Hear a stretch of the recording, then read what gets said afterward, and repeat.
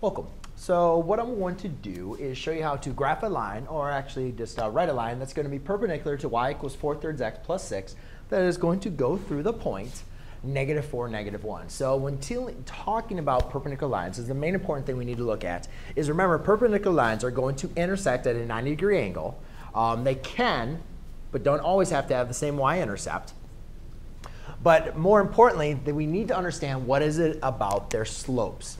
So the first thing, we remember, we know that sometimes they might have the same y-intercept or not, but the main important thing about the slopes, parallel lines had exactly the same slope. But perpendicular lines, remember, if one was positive, the other one had to be negative. So in this case, I need to find a line that's perpendicular to this. Well, this slope is positive, so therefore my new slope has to be negative.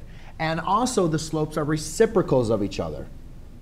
So I'm going to have a negative 3 fourths x plus b. Now, I do not know what my new y-intercept is. It could be 6, but it also could be something different. The only thing I know is that my new equation that is perpendicular to my line goes through the point negative 4, negative 1. And that point is a solution to my new graph.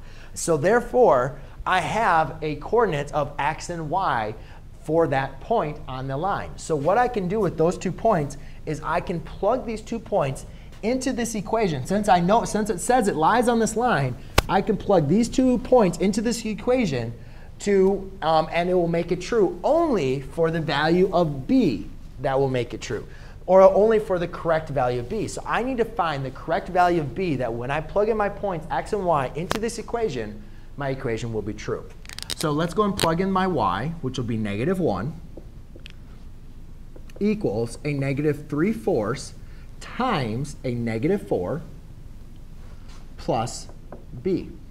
So now what I'm simply going to do is the negative 1 is just negative 1 equals a negative 3 fourths times negative 4.